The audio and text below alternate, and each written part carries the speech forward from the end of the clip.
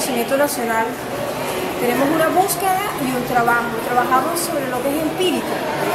Todos los artistas empíricos también trabajamos con niños con MDA artistas. Tenemos grandes talentos dentro de la fundación, cosa que nos enorgullece.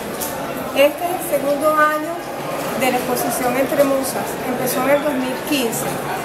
Empezamos con los recitales de literatura y después seguimos a la plástica. En este año, aquí en Barinas, que estamos arrancando, eh, tenemos el compendio de todo. Tenemos literatura, plástica, tenemos este, nuevas tendencias, body paint, performance art y audiovisual.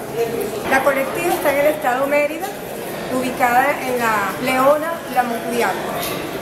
Pero realmente tenemos ramificaciones en todo el país. La señora Mildred Zabarza es el enclave en Barinas, por ejemplo, de la Fundación La Colectiva.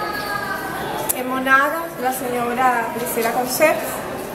Y así en cada estado tenemos a alguien de la colectiva que nos hace el enclave en esos estados. Ok, el cuadro es de, de nuestro baluarte, Patrimonio Nacional, que es Vivian Dávila, ganadora del Premio Nacional de Murales, ganadora en Padua, Italia, ganadora en segundo lugar del Premio Mercosur de Dibujo y de primer lugar del, Premio Mercosur para la Mujer.